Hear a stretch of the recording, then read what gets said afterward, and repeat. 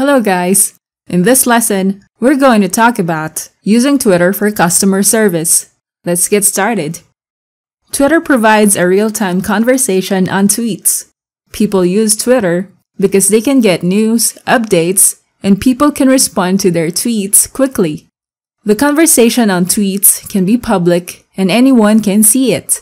For companies, responding to customers' concerns via Twitter is cheaper than having a dedicated call center for their company. Twitter is free to use and any one of their employees can manage their company's Twitter handle, which is dedicated only for customer support. People will get a faster response and companies can offer them good customer satisfaction. The first thing you must do when customers post tweets regarding their concerns is that you should respond as quickly as you can.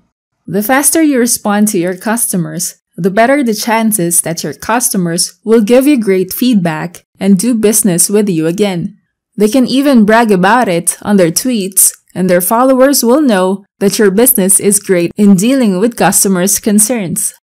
As you can see in this example, this user sent a tweet to Amazon Help's Twitter customer support profile. If you place our mouse over the date when this tweet was sent to this profile, it shows the time it was sent. Amazon Help replied to this tweet in less than 10 minutes. If we take a look at the next tweets, you can see that they respond to customers quickly. This one responded within 15 minutes. The next one was responded to within 6 minutes. This clearly shows that this customer service support for Amazon does a good job of keeping their customers' concerns responded to as fast as they could.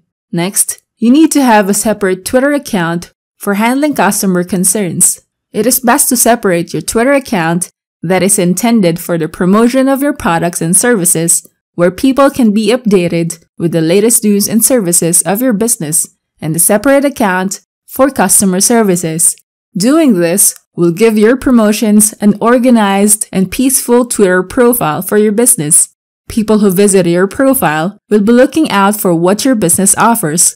Any tweet that includes negative feedbacks from customers will affect the first impression of your potential customers to consider in doing business with your brand. As you can see here, this airline company has a Twitter profile for promoting their business using this Twitter handle but they also use this Twitter handle for people to send their concerns regarding their flight issues. Although this company replies to the concerns of their customers, it is still not a great practice to only use one Twitter handle for your business promotions and your customer service. This will make your company have tons of issues when dealing with business. People who are looking to find an airline company to choose a flight with will be having a bad impression on your business having negative tweets from your company's Twitter profile. Learn when to deal with customers' concerns in private. There are times when customers tweet to your Twitter handle and there is too much negativity to discuss their concern in public. Businesses must keep their calm and listen to the customer's concern.